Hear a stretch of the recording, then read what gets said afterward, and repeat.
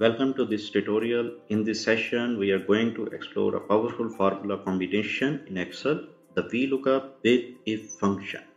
Here we have a large data set for sales with 10 columns and 10,000 records.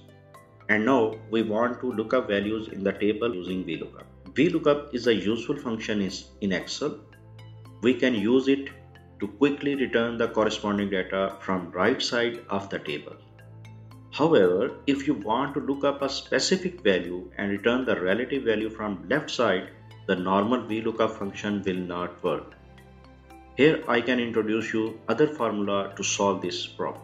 First, we apply the VLOOKUP function which is used in routine to look up values from left to right. You can see sales lie on the right side of the product ID. So simply apply the formula as per routine.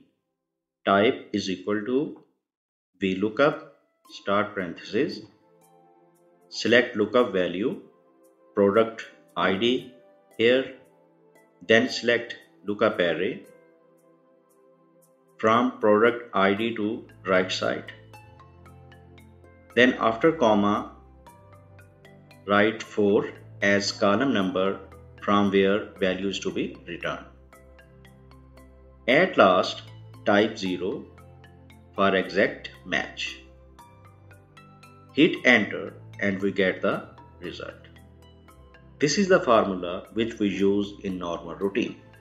But VLOOKUP does not respond if we want to look up value from left side of the product.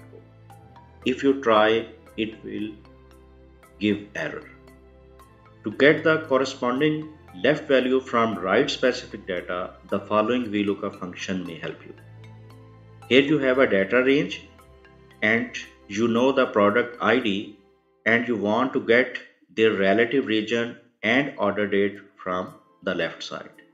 So type this formula is equal to VLOOKUP start parenthesis L6 which is the lookup value comma now we will use if function then type if start parenthesis write 1 comma 0 within curly braces this is an array constant as the logical test this array constant plays a crucial role in dynamically selecting columns for our VLOOKUP.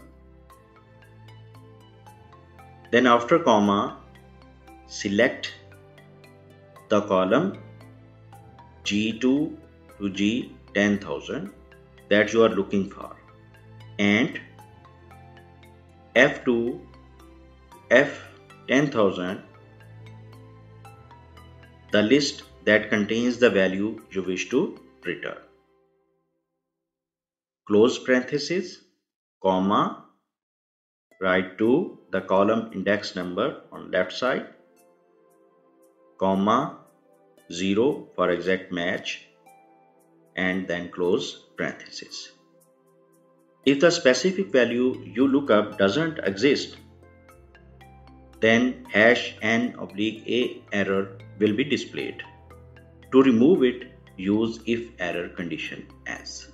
Type if error in the start and then at last after the parenthesis type comma and two quotation marks and close parenthesis hit enter and see the magic happens. Now it is performing same function as index match. Now copy the formula to right cell and just change the return value column reference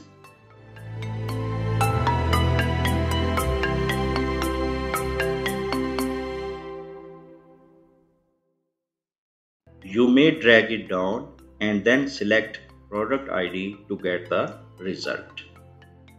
Once Advanced VLOOKUP formula, you can take your Excel skills to the next level. This advanced VLOOKUP technique has several benefits. It offers flexibility and efficiency in data analysis, especially when dealing with datasets where you need to selectively choose columns for lookup. Thanks for watching this tutorial. Stay with us for more and don't forget to like, share and subscribe for future updates.